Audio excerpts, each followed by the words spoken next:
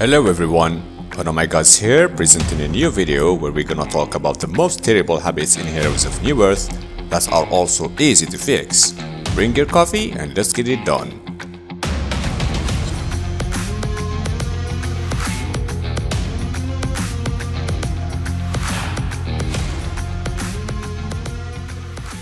Number 1. Winning team fights then jungling. Heroes of Newerth in its essence is a simple game of resources. If you acquire more resources than your enemies, you win. This is why it is beyond frustrating to see people jungling after they win team fights. If you win a team fight, there is usually a 45 to 60 second window where the enemy team is absolutely petrified of you. You're the predator and they are the prey. People win team fights and then they don't immediately change their mindset from autopilot to predator. So they do what they would do by default, which is to hit the nearest jungle camp. But big team fights take time and in that time resources on the map accumulate. Power runes spawn and creep waves amass.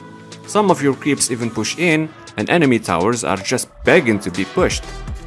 These resources immediately become free for up to 60 seconds after a team fight is won. In fact, the hard part of Hon is winning fights. The easy part is pushing a tower or placing some offensive wards after you win that fight.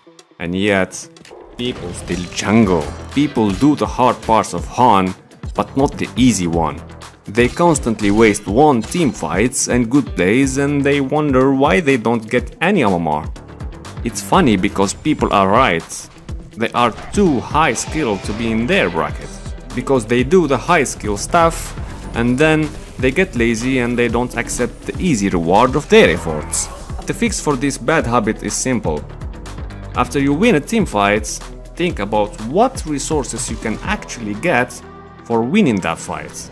It might be a tower, or Kongor, or it might be that you can now safely ward an area figure out what resources you can get and then go get them.